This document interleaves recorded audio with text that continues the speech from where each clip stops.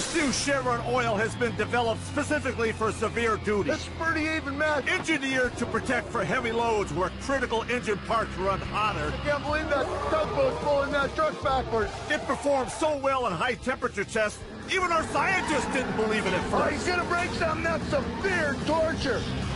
Come on, you guys, get out of Go! Take him out to sea! The tug's got him.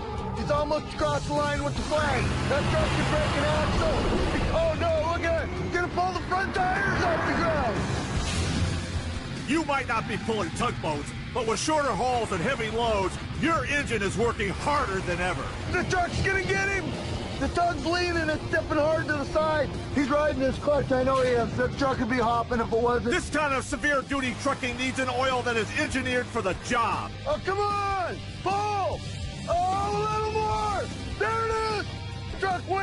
Looks like that could be Chevron's new Delo 400 SD 15W30. We got him.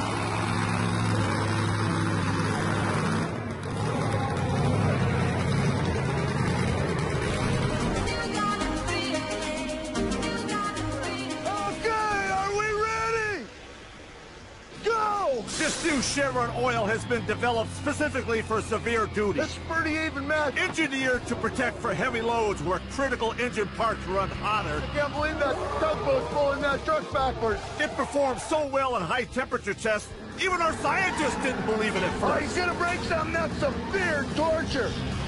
Come on, you guys, Daddy! Go! Take him out to sea! The tug's got him. Almost across the line with the flag. That truck is breaking axle. Oh no, look at it. He's gonna pull the front tires off the ground. You might not be pulling tugboats, but with shorter hauls and heavy loads, your engine is working harder than ever. The truck's gonna get him! The tug's leaning and stepping hard to the side. He's riding his clutch, I know he is. The truck would be hopping if it wasn't. This kind of severe duty trucking needs an oil that is engineered for the job. Oh, come on!